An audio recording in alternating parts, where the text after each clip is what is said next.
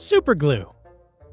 So, you've just been practicing your jujitsu moves, and whoops, there goes the vase. Classic. When you need something that can fix your mess as fast as your roundhouse kick, Superglue's got your back. But did you know that this substance was invented by accident? The inventor of superglue was a man named Dr. Harry Coover, who was trying to formulate a clear plastic for precision gun sights back in 1942 during the Second World War, but he instead found a chemical that stuck to everything. This chemical was cyanoacrylate. It was at first a real nuisance because they were incredibly sticky, bonding to anything they touched almost instantly due to the moisture in the air or on the materials being tested. This made them difficult to work with in the lab. A few years later, Coover's team eventually realized that they had something really valuable. They tried the cyanoacrylate monomers again, this time finding that they would bond without heat or pressure.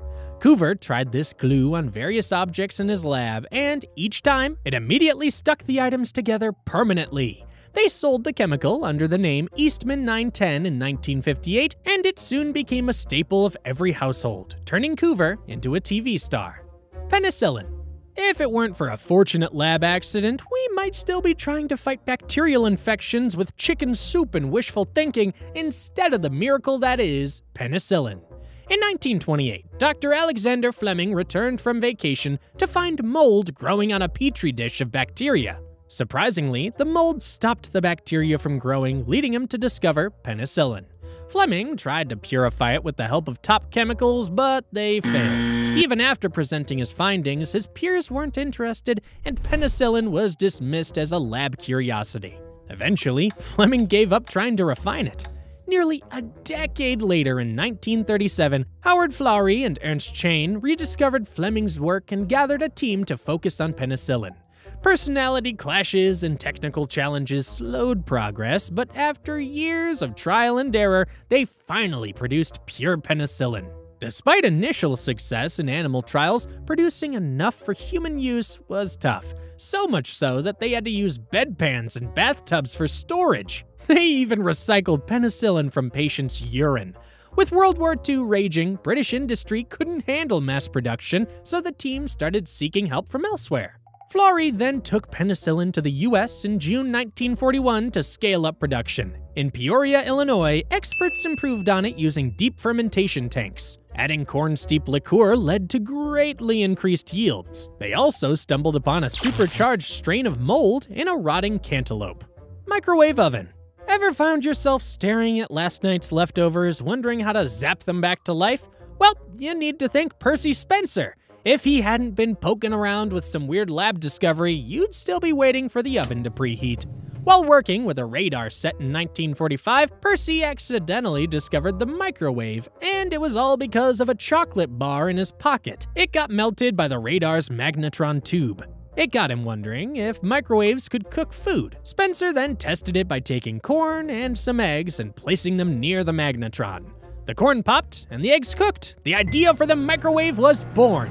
The magnetron tube itself was developed in England in 1940 for radar purposes during World War II, but it wasn't until 1946 that the first commercial microwave, the Radarange, hit the market, though it was huge, expensive, and mostly used in restaurants and ships.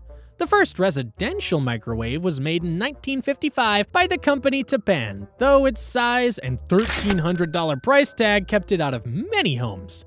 In 1967, Amana introduced a smaller, less expensive countertop model selling for about $500. Cheapened by the drop in the cost of components and the improvement of technology, microwaves became more common in the 1970s, and by the late 90s, nearly every American home had one. X-rays. Ever wondered how spotting a broken bone or something hidden inside your body is actually possible? It's all thanks to x-rays, a common everyday procedure now, but originally the result of one curious scientist's accidental discovery. As early as 1785, William Morgan, a British physician, observed glowing effects from electrical currents in a glass tube that had some of the properties of X-rays. He is also known as the first experimenter to have produced X-rays, but this he did unknowingly. In the late 19th century, cathode ray exploration was taken up by Stanford University scientist Fernando Sanford. He also detected X-rays and named his detection electric photography.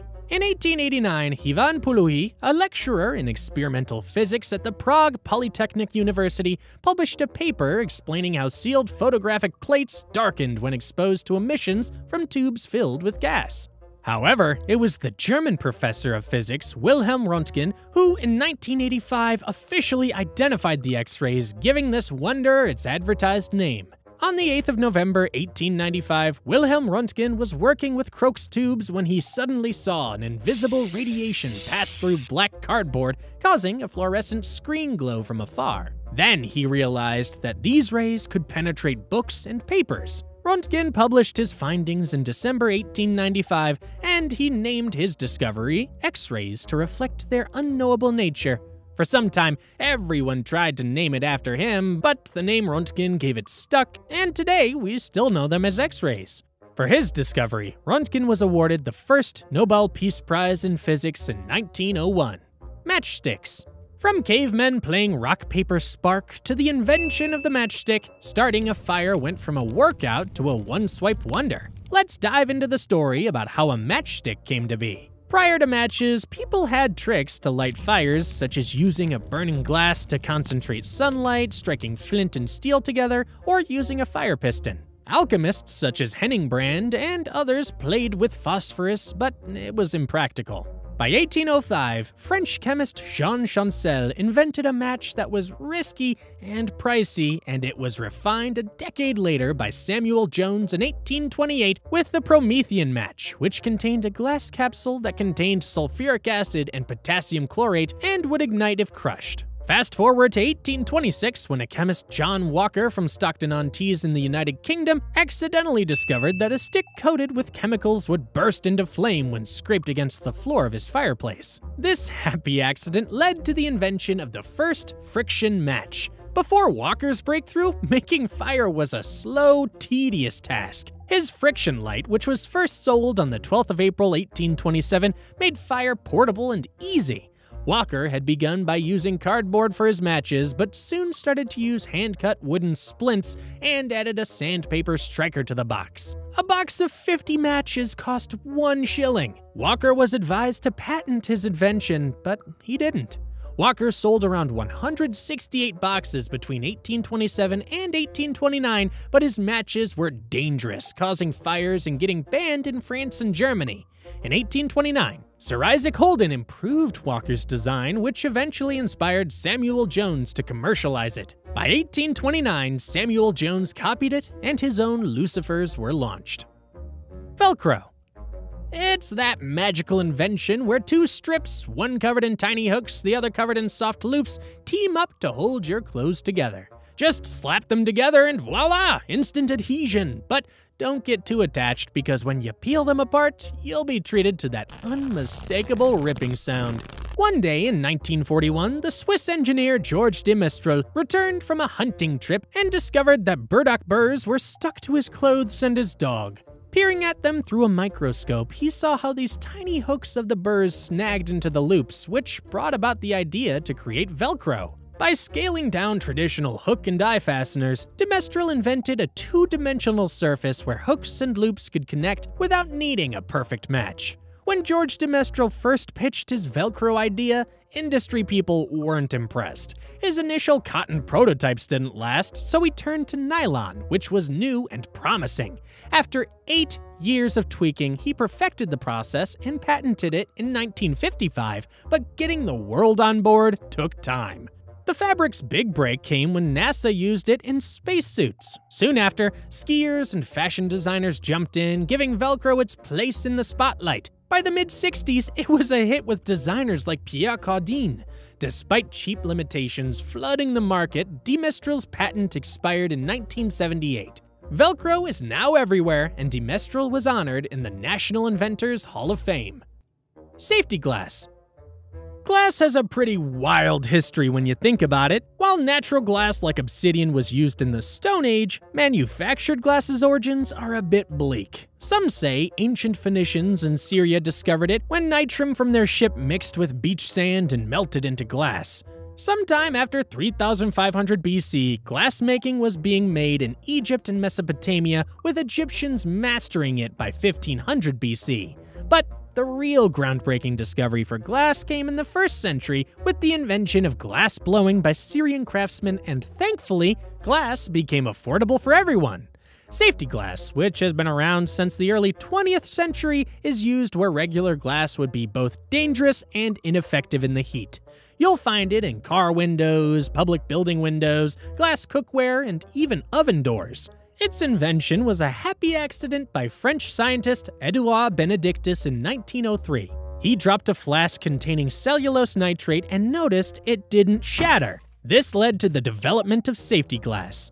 Austrian chemist Rudolf Seiden improved it with tempered glass, and John Crew used tree resin between glass layers. Benedictus's 1909 patent Triplex added polyvinyl butyral for extra strength. Safety glass first proved its worth in World War I gas masks, and by the 1960s, regulations helped push its widespread use in vehicles and beyond.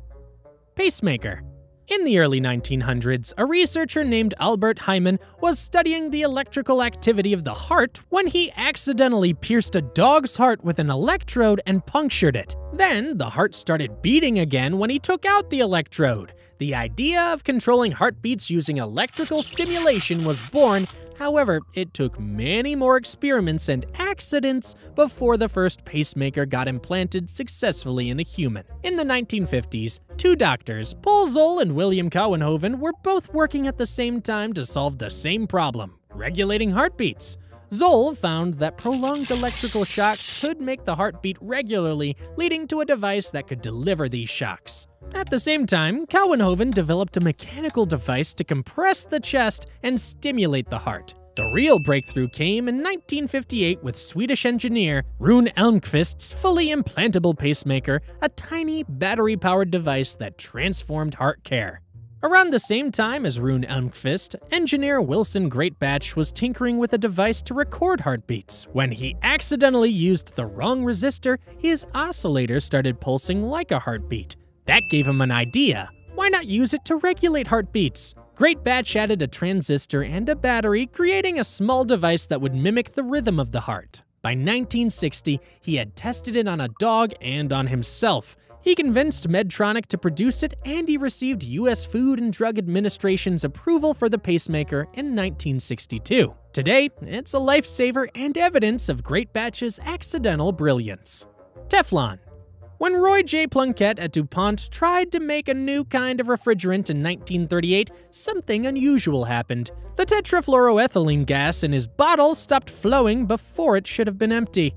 Plunkett cut open the bottle out of curiosity and found a slippery, waxy material inside. He had just discovered polytetrafluoroethylene, PTFE, a form of gas that was polymerized. PTFE was patented in 1941 and it led to the creation of Teflon.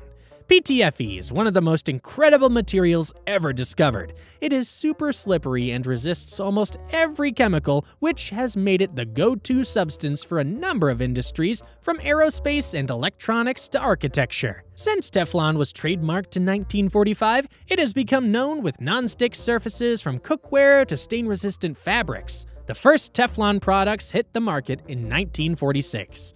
The invention of PTFE is often called a mix of luck, genius, and a happy accident. Whatever you call it, it changed the plastics world and opened up countless possibilities.